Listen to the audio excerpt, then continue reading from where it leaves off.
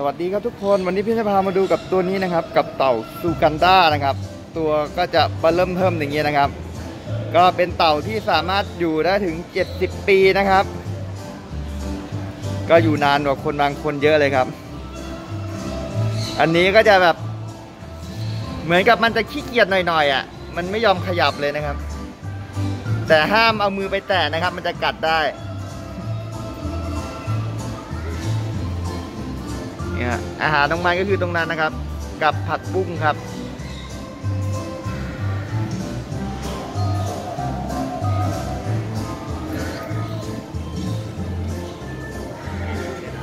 นี่เดี๋ยวให้ดูลายนะครับเนี่ยเวลาเต่าเขาอายุเยอะๆเนี่ยลายตรงหลังเขาจะสวยนะครับนี่เห็นไหมครับมันจะขึ้นอะไรเงี้ย เราสามารถดูอายุเขาได้จากตรงหลังด้วยนะครับ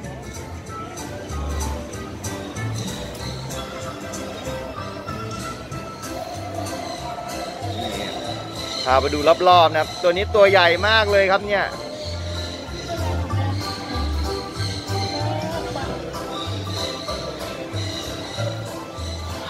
มันเรียนตามหมู่ดีกว่าผู้ใหญ่เนี่ย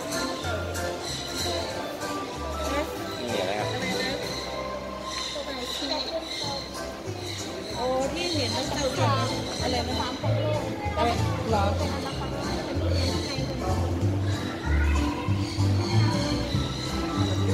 Cái việc.